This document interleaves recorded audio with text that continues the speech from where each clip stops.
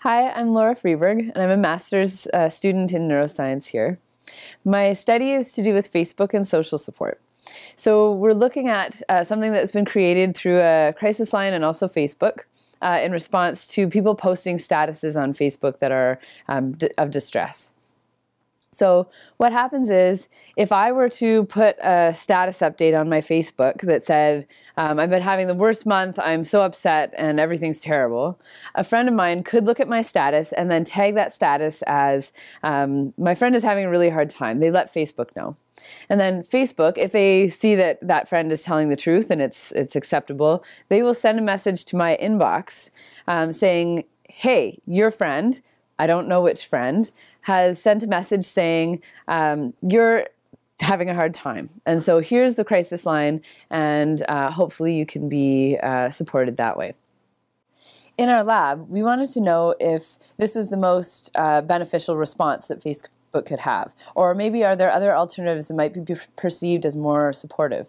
So if a friend of mine sent me a message saying, hey, here's my number, are you okay? Here's the crisis line, is that more supportive or less supportive than what Facebook would do?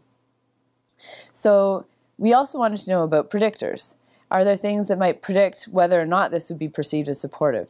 So things like um, a depression score or a social um, self-esteem or coping strategies are those things that will be um, affecting whether or not somebody perceives uh, that response that Facebook is making as a supportive response. There's also um, possibly a genetic component.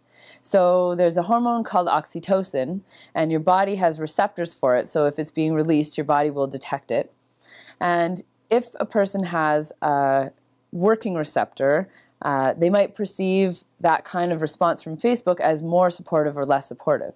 Uh, or if they don't have a working receptor, that might affect it as well. So we wanted to take a genetic sample and see if that is affecting their um, perspective. So when they come to our lab, they have to fill out a series of questionnaires online. So they're over here.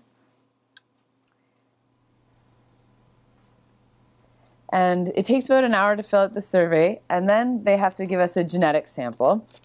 So they uh, have to spit in this tube, and then they add this yellow liquid here, and then we analyze it later to see if that gene is related to their perception of social support.